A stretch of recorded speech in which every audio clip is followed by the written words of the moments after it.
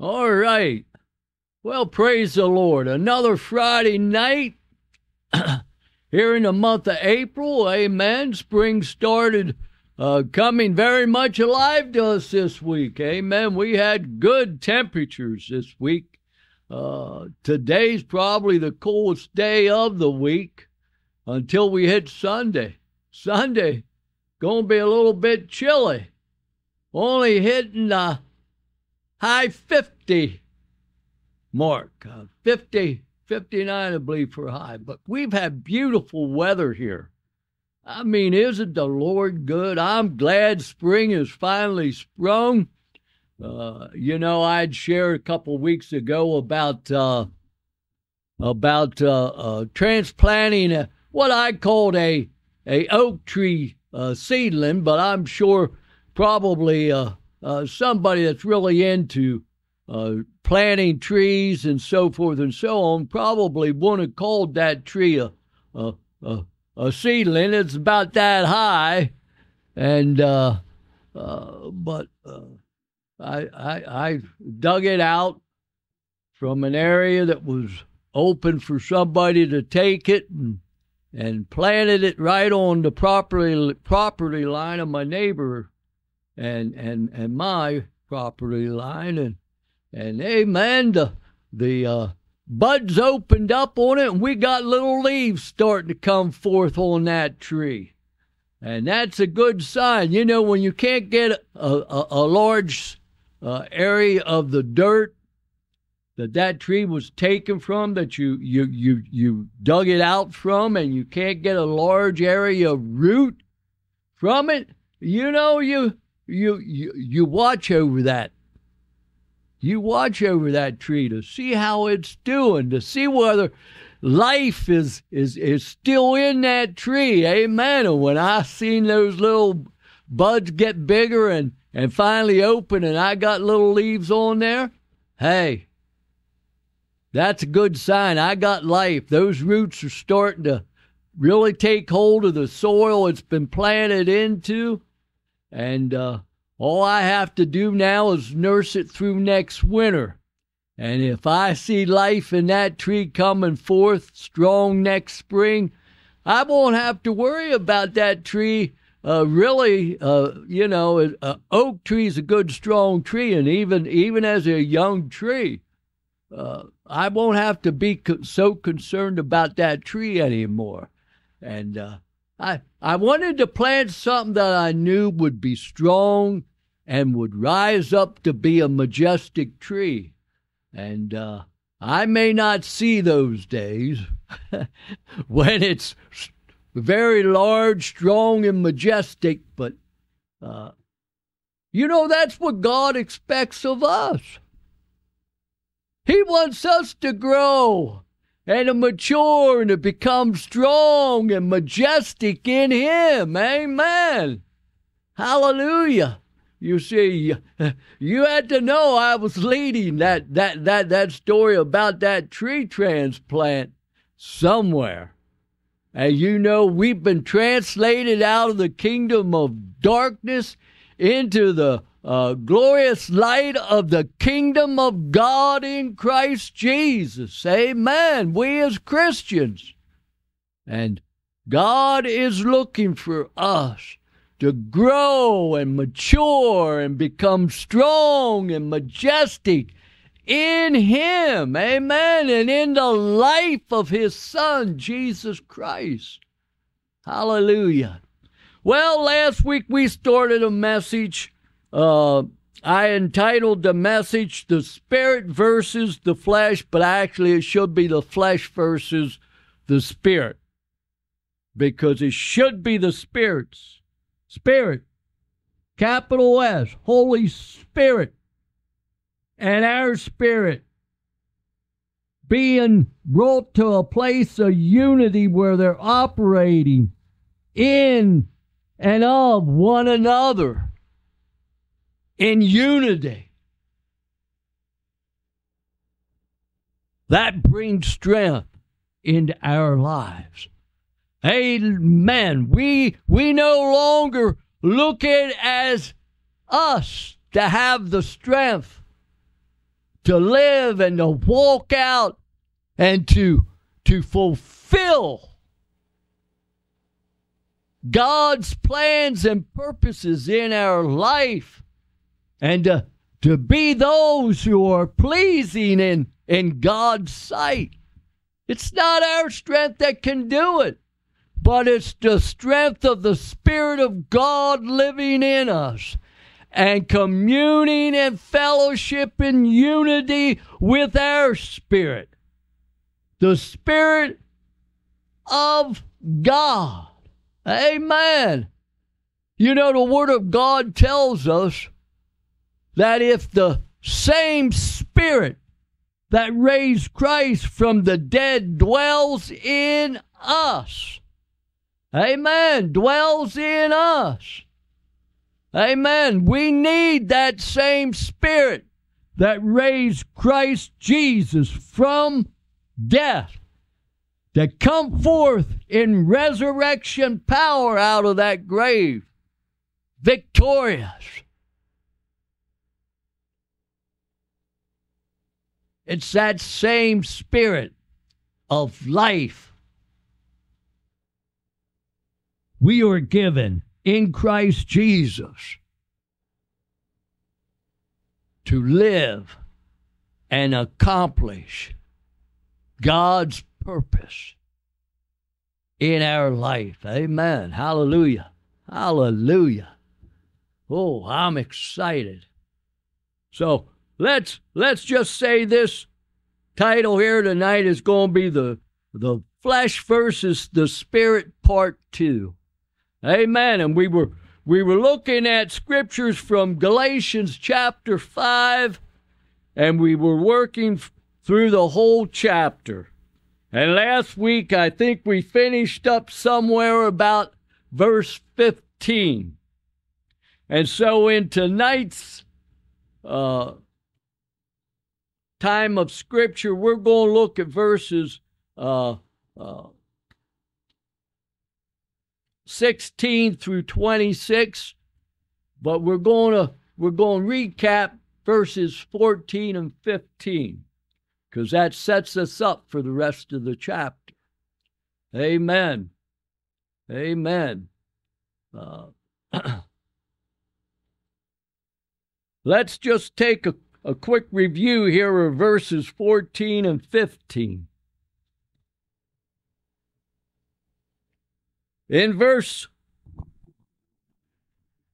excuse me, in verse 14, it says, reading out of the New American Standard Version, every once in a while I might pick up the New Living Translation. I got sitting here off to the side of me and, and read a verse from that uh, when I feel it really makes things a little bit more understanding to uh, modern man.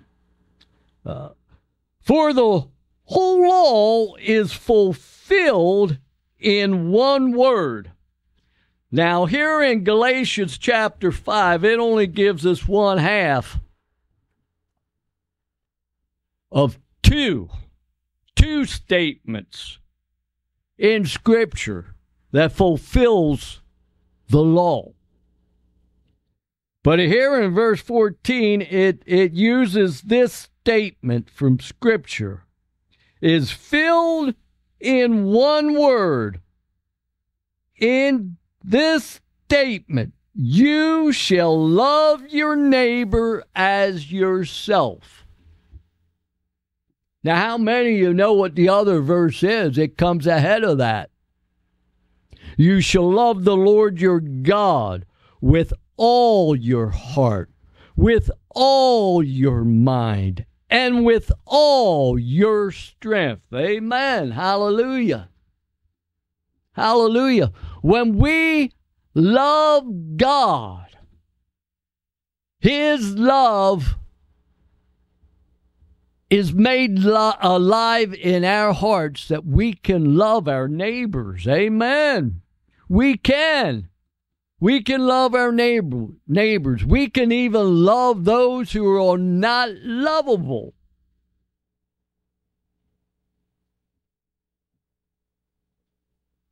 but you shall love your neighbor as yourself. And verse uh, 15 goes on to say, Hey, but if you're not walking in that place,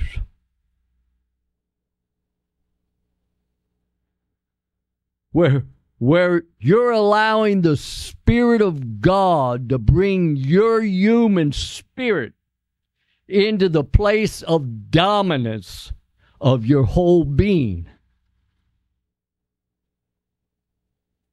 You may find that you are of those described in verse 15. But if you bite and devour one another, take care. Otherwise, be careful lest you be consumed one of another. Lest you be consumed one of another.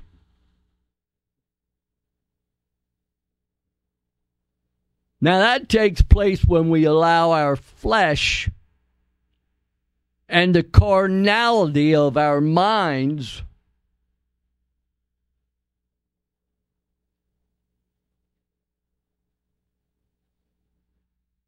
to be in the place of dominance.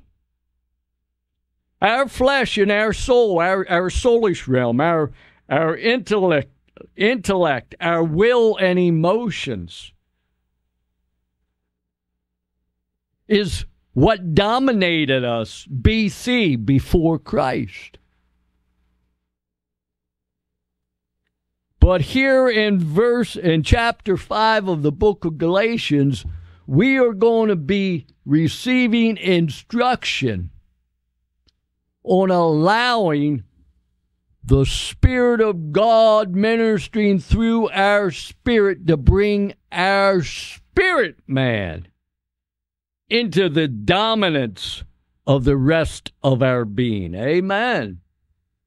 Under the guidance of the Holy Spirit.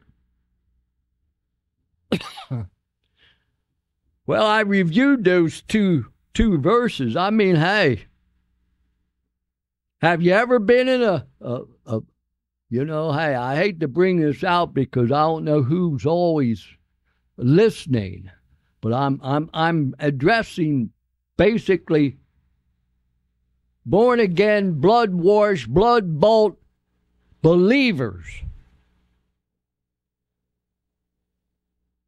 Disciples of Christ. In in these messages I'm bringing out of chapter 5 of the book of Galatians.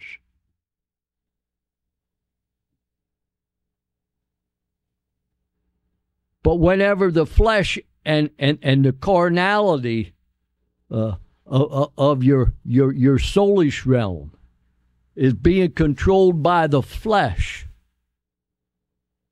your, your soulish realm being controlled by the flesh, your intellect, your will, and your emotions. These are the things that can transpire, and it's terrible when it takes place in churches.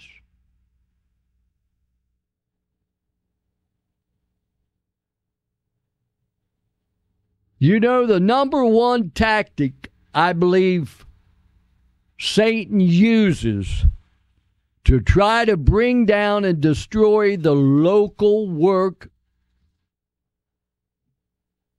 of the ecclesia in a community, the, the, the church is division and strife.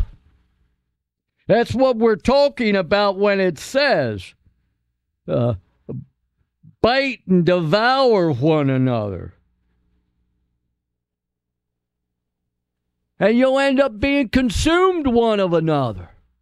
You know, hey, listen, there's one thing I learned uh,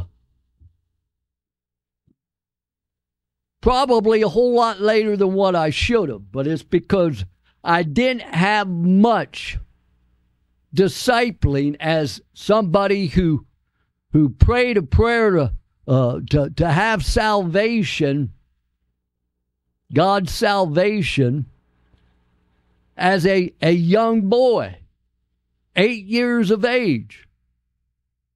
But there was one thing that was in the church. No matter how small it might have been, I'm not going to condemn the church, but I know that there was a, a, a lump of leaven there in the church, and it was called legalism. Man made rules applied and attached to what the scriptures speak and address us on how we as Christians, as the followers and disciples of Christ, are to live like. And I mean, it made shipwreck, shipwreck of my life as a teenager. I mean, I had totally, totally, totally lost sight of the things of God and how I was to live as a child of God. Because that little lump of leaven leavened this whole loaf of my life. I was deceived thinking I was saved by God's grace, but it was up to me in my strength, my natural human strength to live out the life that we're called to live according to the New Testament scriptures, particularly in the epistles, the books after the four gospels in the New Testament. Made shipwreck of me, of my life. And I lived a very tormented and troubled period of time through my young teenage years up till I was 20 uh, years of age, and uh, uh, I think I figured it out five or six days shy of seven months old. 20 years of age, five or six days shy of seven months, 20 years and seven months old in the natural man. And I mean, it did not give me a good future that I was seeing.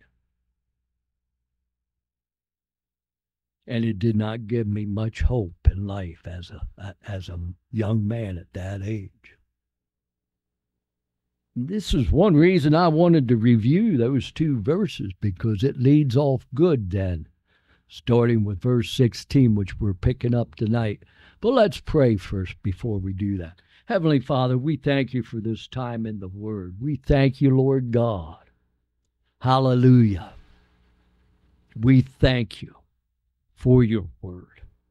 And that, Lord God, there is life and instruction for life in your Word if we will just receive it, read it, study it, meditate upon it. Let it get down deep into our hearts, our spirit, man, our innermost being, to where it becomes life. Life. Life to us through Jesus Christ. Amen. And in his life, we now move and live and have our being. Amen. Amen. Once again, I want to thank Senior Pastor Mike Yeager for the opportunity to be speaking to you here on Friday nights from the pulpit here. I thank him for that opportunity.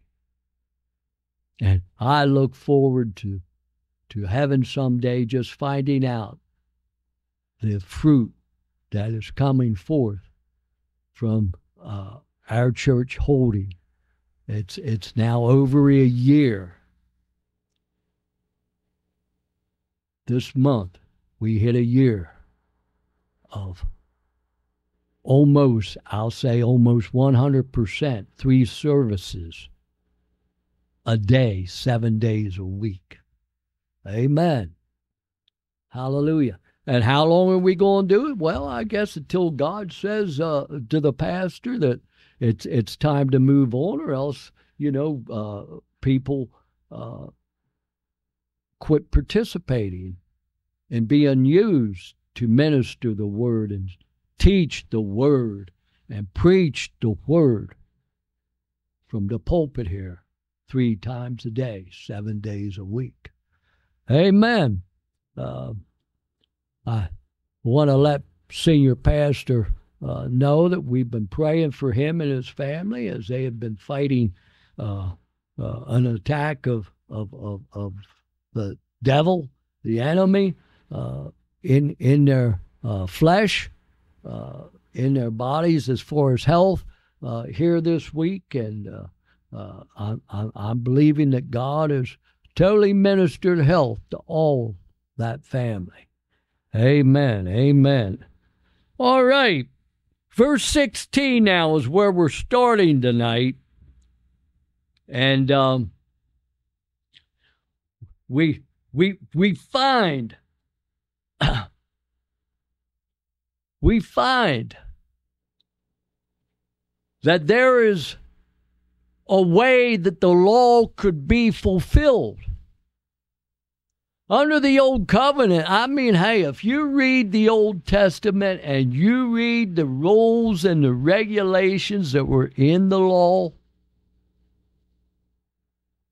there was no man under the law that could live that life in and of their own strength till God sent his only begotten, the only one to come forth from him into the earth through the womb of a, womb of a virgin woman named Mary in a body of flesh. And his name was Jesus. He was the Christ, the promised Messiah, the anointed. And he was the only man that was capable, that totally looked to God as his source and his strength, constantly pursuing the will of God in his life, and he fulfilled the law. He completed it. Amen. He lived it out in its entirety as a man in the flesh in 30, 33 years of life here on this earth. Amen. That's why it's only Jesus that is the way, the truth, and the life, the only one that we can come before the Father, before a holy God and be declared righteous. It's only through Him, receiving Him as our personal Lord and Savior. Amen. Amen. Verse 16 starts off then tonight. But I say, walk by the Spirit, and you will not carry out the desires of the flesh. Walk by the Spirit, capital S, by the strength of God's Spirit in you.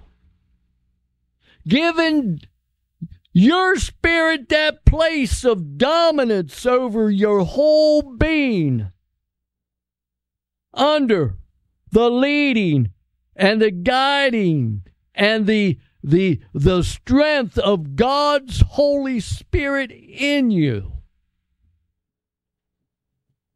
and you won't fulfill. You won't carry out the desires of the flesh. You'll be able to overcome the flesh. Amen. We should not be given given in to the desires of our our flesh, our nature, the carnality and and and and and weakness of humanity after the fall in the garden. Before then, man was dominated by the Spirit of God in him, and his spirit had dominance over his flesh and his soul. Amen. You know, I've, I've, I've explained it many times. If you've followed Pastor Charles, I've explained it many times that out of Genesis 1, I believe it's verses 25 and 26, where we find out out of the truth of the statement that God made there in those verses let us, who's us? Father, Son, and Holy Spirit, the triune Godhead, let us make man after our image and after our likeness. Of a truth of that, we are a triune being.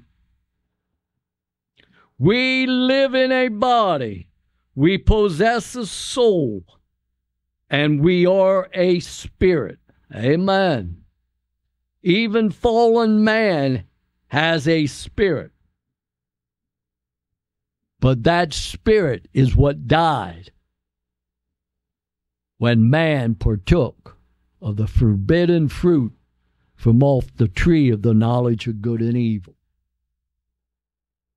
God told his man Adam when he called him into the garden and showed him the trees in the center and spoke and directed his attention to that tree of the knowledge of good and evil. He said, In the day you, you eat thereof, you shall surely die and the spirit of man died to the acknowledgement, the understanding, the comprehension of God.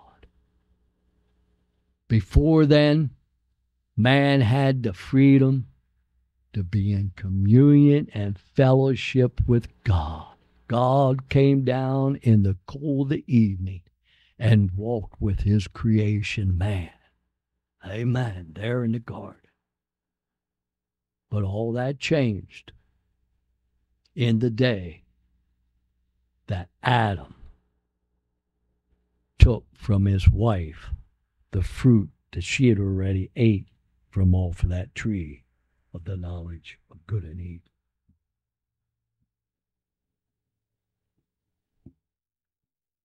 Man says, "Well, that's that's it. That's that's it. The woman's to blame." No, God said the woman was beguiled. She was tricked into partaking of it. The serpent was sly, and he come across where where where he he challenged her on whether God actually said that. But who did God call into the garden? He called his man Adam into the garden and spoke to Adam. Adam freely when his wife told him that he she had ate of it and and and told told him see see look it's good to eat eat it. See she didn't she she she didn't have her eyes opened up yet to the reality of the death that took place until adam her head her covering took that fruit. He took it with knowledge of knowing what God had said. It didn't come to him secondhand. It came to him straight from the, the heart and the mouth of God. So he took it with knowledge. He took it with the knowledge that death would take place. And when he took it, then his wife also became aware of the death, the spiritual death, the separation that now was there between them and their Creator, God Almighty.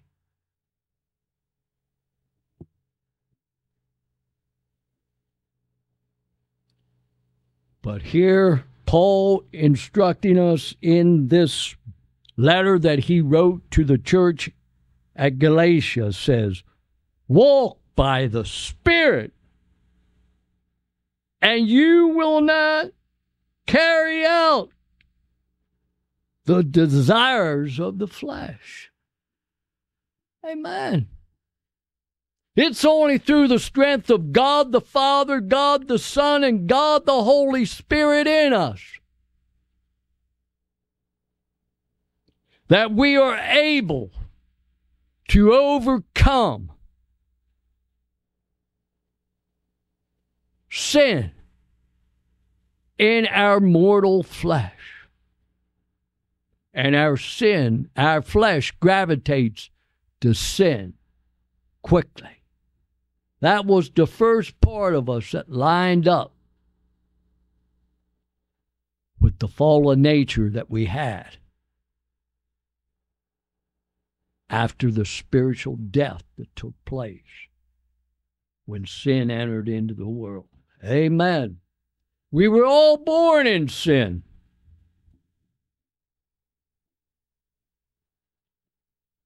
But listen, just as you expect that little baby that you and your wife have been blessed with to grow and mature and be able to overcome so much of the weakness that's in that flesh of that that that child as they grow and mature uh, physically and and uh, mentally and and, uh, uh, come to a place of acknowledging the sin that they've been born into and receive Jesus Christ as their Savior, the only way to be made righteous once again with our Creator. Amen. Verse 17 goes on to to to speak to us here. Uh, it says, "For the flesh sets itself." Sets its desires against the Spirit, capital S, against the things of God's Spirit.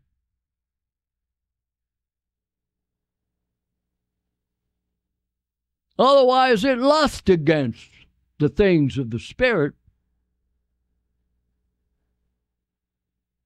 And the Spirit against the flesh. For these are in opposition. They're contrary one to the other. They oppose one another.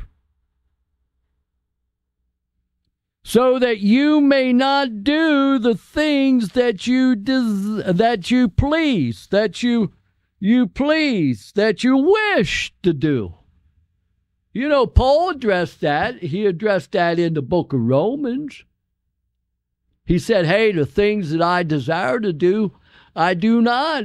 And the things that I I I I do not desire to do, those things I do.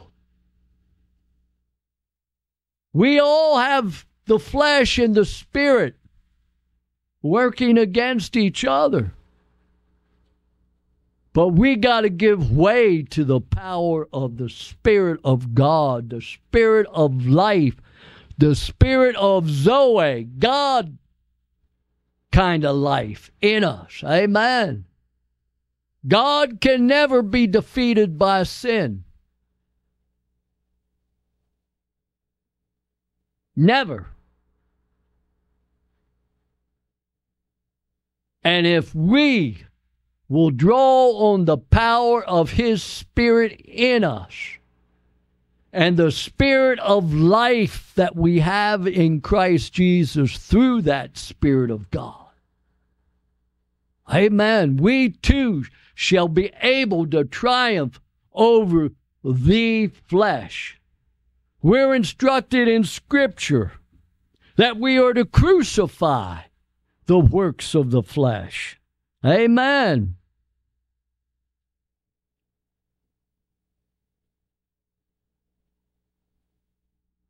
Verse 18 continues here and it says, But if you are led by the Spirit, you are not under the law.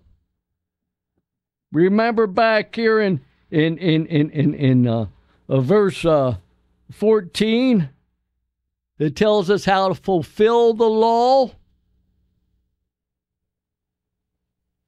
The fulfillment of the law was found in us when we are able to love one another as ourselves, when we put preference and give preference to others ahead of ourselves.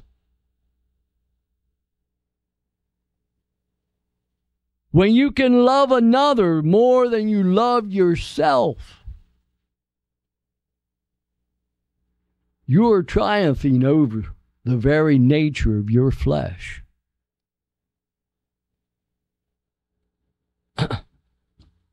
now, in verse 19, amen. We are not to operate under the law. We've been set free and delivered.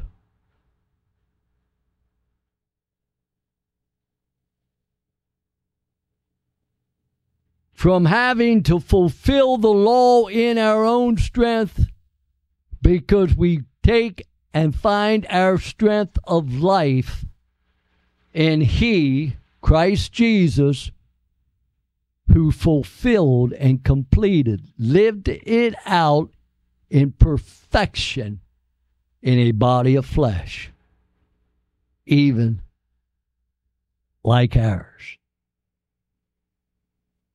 Amen. Amen. He did it as a man. Remember, he laid all his deity aside when he came into obedience of God and allowed himself to be brought down and birthed out of the womb of a woman and become man. He lived here on earth in the power of a man fully given to the power of God's Spirit working and operating in him. Amen. Amen. Verse 19 says, Now the deeds of the flesh are evident now we're going to look at, at, at what's the predominance of our human flesh left in the power of its strength. The deeds of the flesh are evident, which are immorality. Now, here in the New Living Translation, it says, it addresses it as sexual immorality, impurity, sensuality, idolatry, sorcery, enmities, strife, jealousy, outburst of anger, disputes, and dissensions and factions factions. I look down here at my footnotes on that, and that word means heresies, false teaching.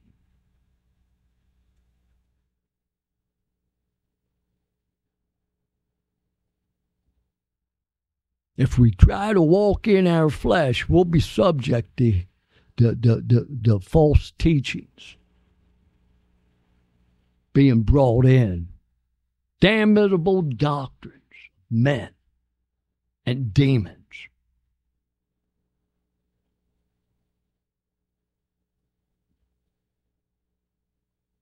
the heresy that I was trapped and kept in bondage in was the idea that I needed to live out the life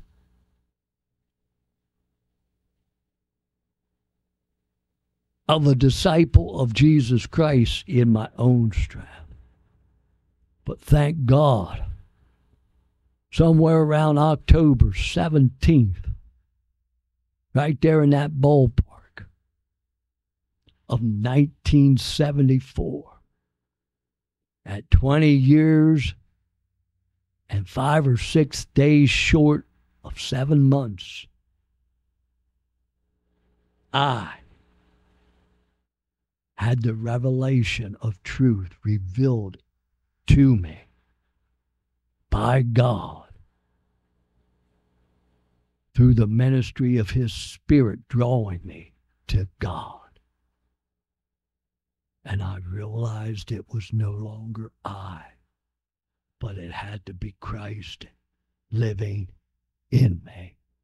Amen.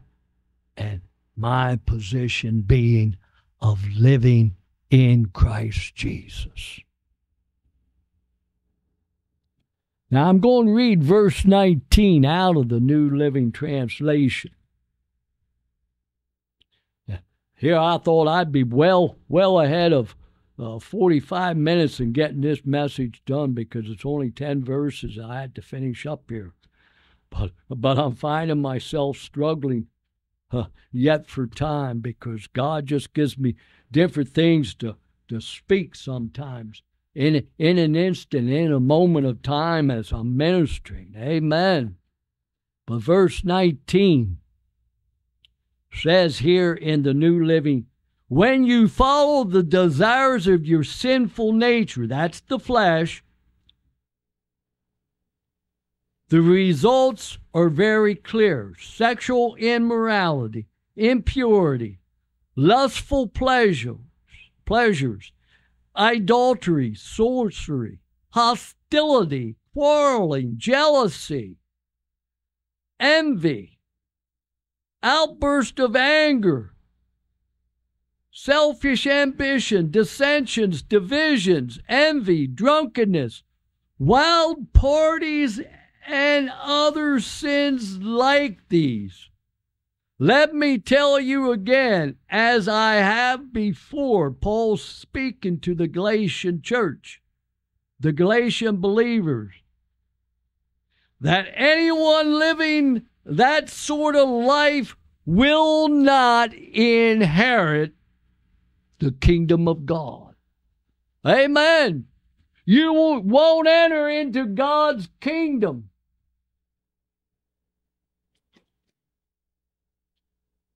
if you're living that kind of life.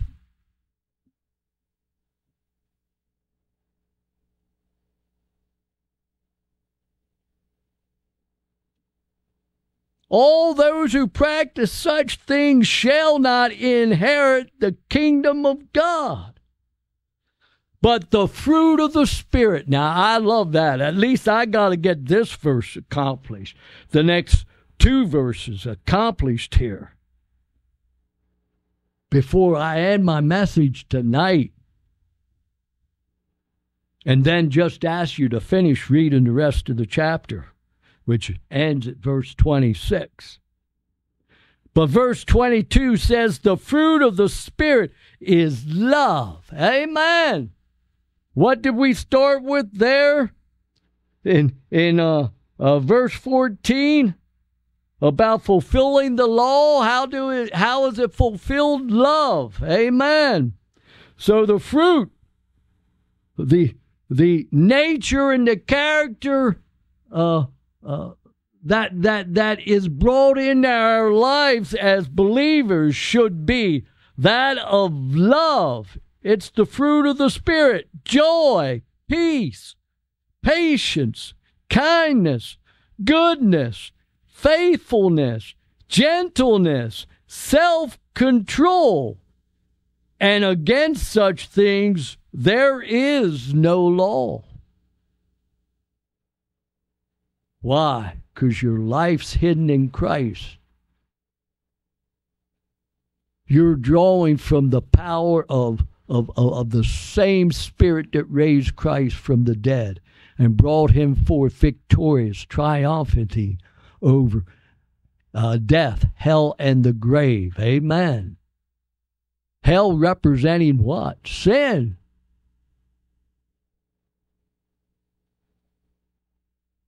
Sin.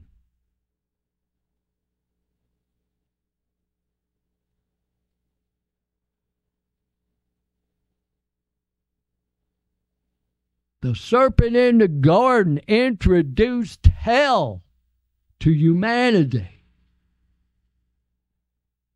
Satan is known as a liar and the father of all lies. And yet, most of humanity follows after the lie. The lie. The lie. After Satan. They're under the dominion of his kingdom of darkness. And thank God, October of 1974,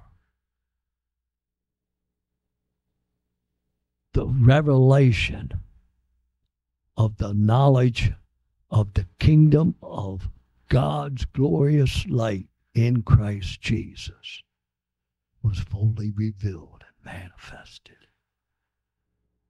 in me. And I am no longer, longer under the law, trying to live out the commands of God in my own strength, but it's Christ in me. Hallelujah. Christ in me. Praise God. I triumph always in Christ Jesus. Thank God I have the victory in Christ Jesus. Tonight, tonight, I challenge you, even as God has challenged me, that we, uh, we need to allow these fruits of the Spirit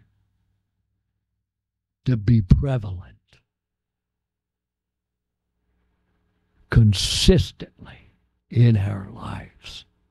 Amen. And I'll guarantee you, if you try to live out the fruits of the Spirit consistently in your own flesh, you'll never succeed. Oh, I won't say that some of these things don't tend to be in people that don't have Jesus Christ as their personal Lord and Savior. I mean, hey, there can be a measure of goodness in people. There can be people who practice uh, uh, uh, a, a level of patience of kindness, of gentleness.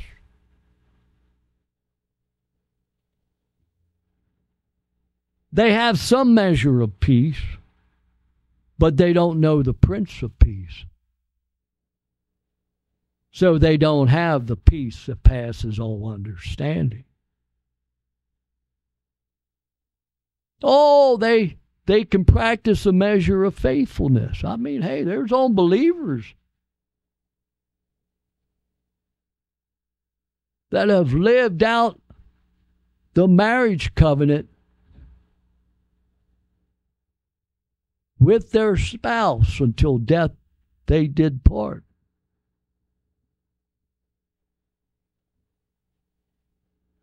But was it lived out with all these fruits of the Spirit consistently being practiced? Being a place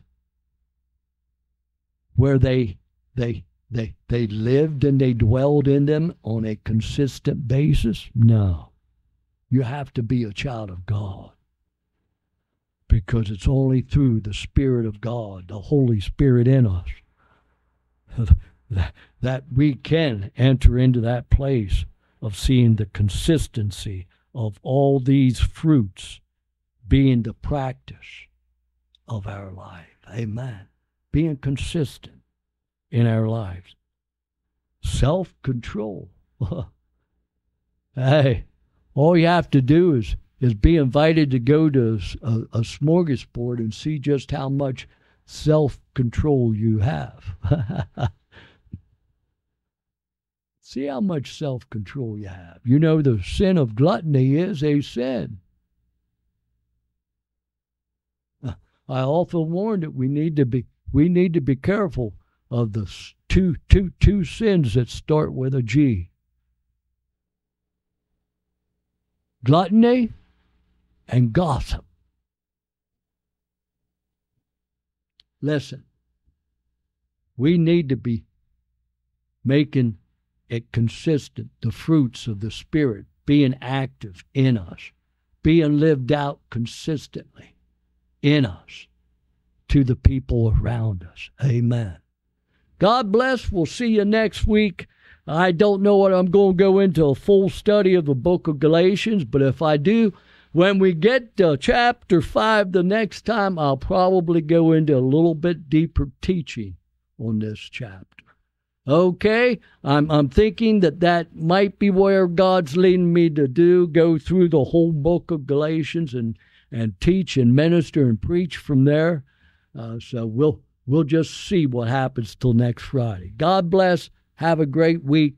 And remember, go in the strength and the power of God in you and go out and live it under the power of the Spirit of God in you before all the world.